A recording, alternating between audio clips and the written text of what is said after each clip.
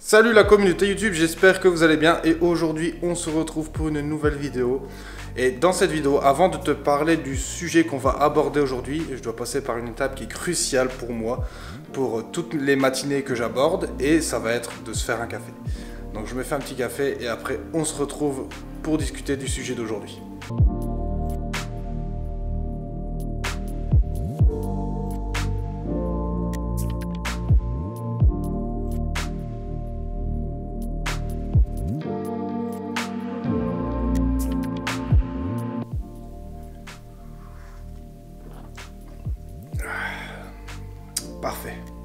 Bon, comme vous le savez tous, les salles sont fermées en ce moment, donc il n'y a plus possibilité d'aller s'entraîner dans les salles de sport.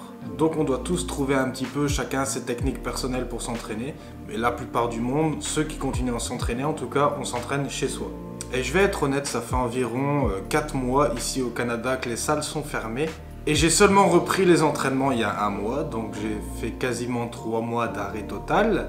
Mais ici, depuis peu, j'ai à disposition un banc inclinable et des haltères. Bon, c'est beaucoup mieux, c'est mieux que rien, mais bon, c'est, voilà, ça m'aide pas beaucoup, mais c'est bien, on va dire, pour euh, maintenir en forme. Ouah, c'est chaud. Donc depuis quelques semaines, je me suis remis à l'entraînement et aujourd'hui dans cette vidéo, ben, je vais te montrer mon entraînement. Je m'entraîne 4 fois par semaine. Je travaille deux groupes musculaires par entraînement. Donc aujourd'hui, ce que je vais faire comme entraînement, ça va être les pecs et les triceps. Et je vais donc pouvoir te partager mon entraînement, comme ça tu vas pouvoir t'en inspirer si jamais tu en manques d'inspiration, tu désires t'entraîner chez toi pour regarder la forme. Et j'espère que ça pourra t'aider. Je vais finir mon café et après on attaque l'entraînement. Donc tu vois, c'est ça le, matos dont je te parlais. Donc ça, c'est des haltères ajustables.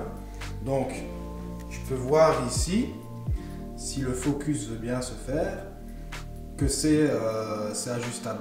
C'est des livres, hein, je te rassure, c'est pas des kilos. J'aurais aimé que ce soit des kilos, mais c'est des livres. Donc ça va de 5, 5 livres jusqu'à 25 livres. Donc 25 livres, ça fait 10 kilos. Ouais, je sais, c'est pas beaucoup. Ouais, je sais, c'est pas un matos de fou, mais c'est quand même mieux que rien. Ça m'aide au moins euh, à faire euh, ce qu'il faut pour essayer de garder ma, ma shape un minimum, quoi.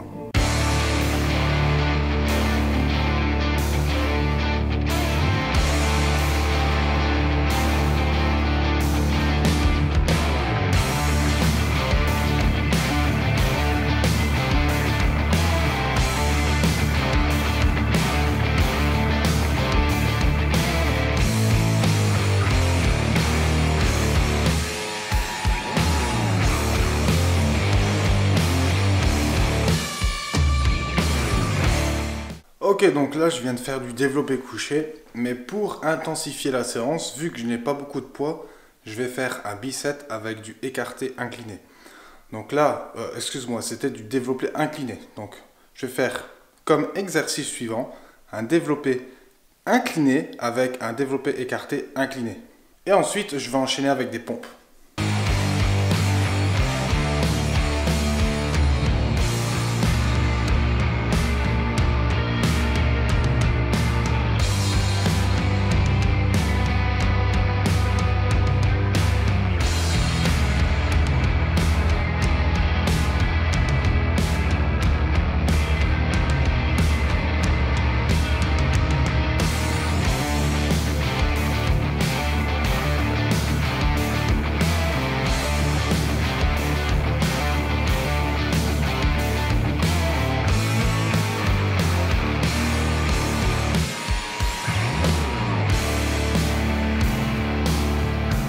La partie des pectoraux est maintenant terminée. Je te jure que je sens vraiment une congestion au niveau de mes pecs. En plus, j'ai fait mes épaules hier.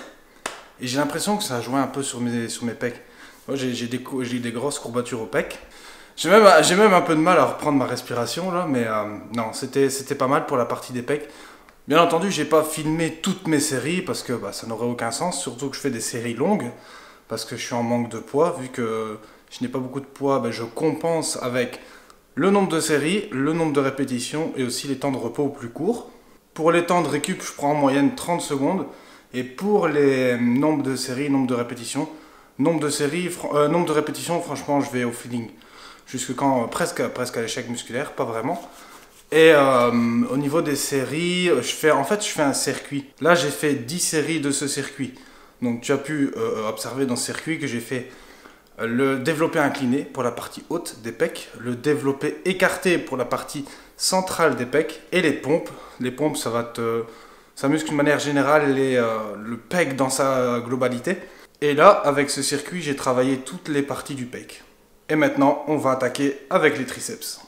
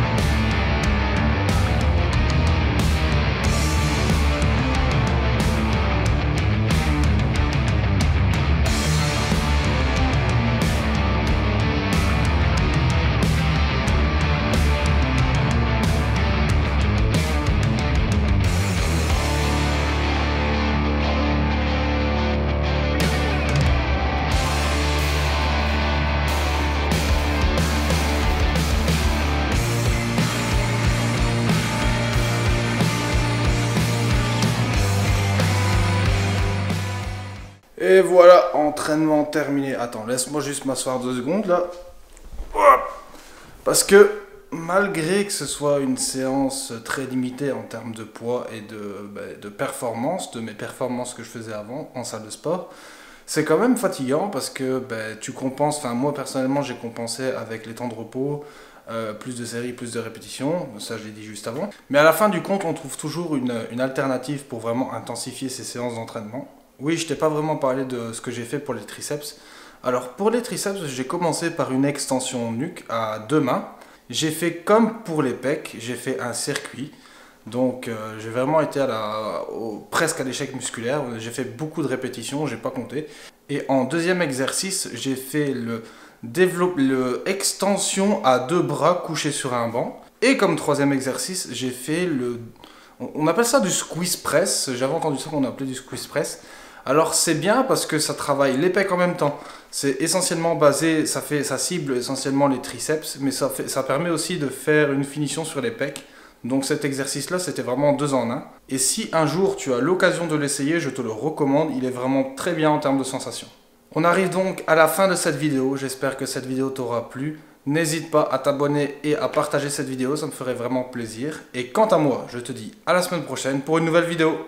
Salut